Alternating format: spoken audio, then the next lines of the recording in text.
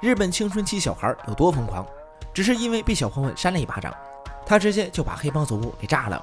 这就是北野武最难看懂的电影，演到最后都不知道发生了啥。这群人正在紧张的打比赛，而名叫雅树的家伙竟然在蹲坑，教练都质疑他：你是来拉屎还是打棒球的？好不容易轮到自己上场，结果站到敌方阵营，让他去捡个球，他还要休息会儿。终于拿到主场位置，却连棒子都没挥动，就干脆的输掉了比赛。干啥啥不行，那就去挥棒子。然而比赛都结束了，他还是在那里挥来挥去。队员都忍不住骂他蠢蛋。别看有点傻，可坐骑倒挺帅。一溜烟来到加油站上班，还没换衣服就被催着去洗车，可他就像没听到，依旧慢慢悠悠。黑道车主问他擦好车没，他回答不知道。那加好油没？还是不知道。黑道大哥直接赏他一巴掌。老板立马出来道歉，好不容易安抚好对方，结果牙树冲出来给他一拳。这下好了，本就发愁没有生意的黑道彻底讹上老板。即便医生说没有屁事，但对方老大将会亲自来解决。作为当事人的雅树就好像啥也没有发生，找到好友准备飙车。此时店里新到一辆机车，好友提醒小伙开车要注意安全，一定要佩戴好头盔。可他很自信，坚决不要头盔。结果下一秒直接撞车。雅树坐在路边喝咖啡，丑陋的颜值竟然吸引到漂亮的女服务员，主动搭讪要坐车。然而半路抛锚，还要使劲推车。半路遇到流氓调戏，一不留神直接追尾。路边撒尿的大叔一脸懵，找到对方理论，说自己是黑社会，结果被三人给暴打一顿。最终黑老大还是找上门，老板诚恳的要赔偿医药费，还是被赏了一耳光。见牙叔这么有种，还邀请他加入黑帮。年少的他以为可以谈判，而教练直接否决，黑帮讲理就不叫黑帮了。此时一伙小年轻闯进来，当着老板面要点开饭。这是酒吧，不是沙县大酒店。教练哐哐给他两拳。看起来柔弱的教练，以前也是黑社会大哥，并且和当地黑帮老大是拜把兄弟。想当年也是叱咤风云的人物，不过后来隐退当起了老板，为了帮雅树解决掉麻烦，他找到大友组老巢。没成想时过境迁，没人再害怕过时老头，客气点还叫他先生，不客气直接喊他八个亚鲁。如此没有教养的家伙，教练把他堵在半路，当着小弟面把他干吐血。如此凶狠的样子，雅树也被吓到。第二天，教练恢复往常，依旧在球场上指挥，队友在场上挥洒汗水，而亚树却在对这个空气下论。教练看他如此认真，也给他机会展示，布置众望，一击命中。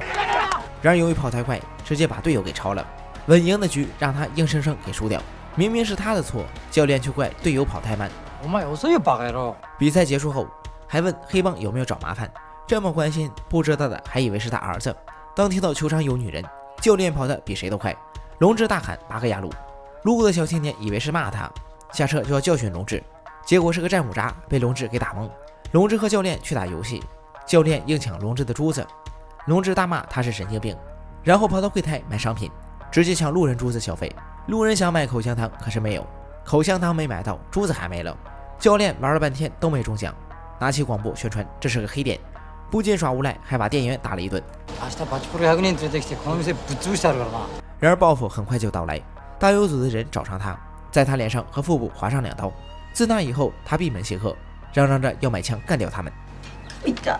雅叔认为事由他处，应该由他来解决，于是拉上龙志一起来到冲绳海边。本来和老板约好买枪，可迟迟等不到人。龙志想要上厕所，然而没带纸，直接在海里洗屁屁。此时的老板上元正在接受组织的调查，他私吞公款被老大发现，老大让他切下小拇指，并且在三天内还清。老大惹不起，小弟倒了霉，被上元教训出气。旁边的雅树两人被吓呆。上元邀请他们唱歌，可到舞厅砸人酒瓶。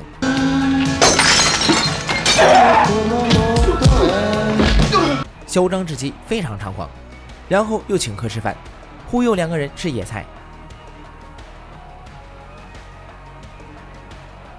回到住所后，上元突然下令，让女友和小弟展示技术。就这样，几个人现场直播。可进行到一半，上元推开女友，就压在小弟身上，又说他侮辱了女友。要切下手指谢罪。由于刀太钝，女友拿来忍耐百剑。第二天，他们在海边开心打球，上元突然又发神经，狂扇女友，怪罪他和小弟发生关系。这给水里的龙志看得一愣一愣的。上元让六个人挤一辆车，又嫌弃后座太挤，黑妹的脸都被吓黑，全场一句话没说就被扔下车。他找到黑市购买枪支，人家开价三百万，他直接砍到二百五十万。你要过去拿临走时顺手把废纸装进钱袋，看到路边的便利店，直接吃起雪糕，唯独不给一旁的女友。约好时间地点，老外开心的前来交易，没想到上渊把他给突突了。自己带走几把枪，剩下的交给了雅树。上渊是军火商，可进货渠道是黑吃黑。两人一脸不可思议看着他们离开。行驶到半路，上渊又喊停车，哐哐又给女友两拳，接着在路边展示起技术。小弟就蹲在草丛观看，爽过之后，他把女友拽下车，两人来到花丛中拔了一大把野花，用报纸简单包扎。大摇大摆走进总部，老大看到他根本就没有带钱，大骂他是个废物。上渊也不再伪装，掏出冲锋枪把他们打成筛子。当看到受惊的女服务员，上渊再次展示精湛的技术。然而他俩并没有潇洒多久，在机场就被杀手堵截，直接给打成筛子。龙志这个奇葩，居然只用报纸绕了一圈，在机场大摇大摆的溜达，然后把枪扔进安检口，趁着人检查别人时，两人淡定的走了过去。终于三个人回到老家，他们掏出手枪准备将大友组干掉，可就在门口时迟迟不敢开枪，碰巧被大友组的人看到。眼看不妙，雅叔立马开溜，剩下的两个人可惨了，被大友组打成猪头。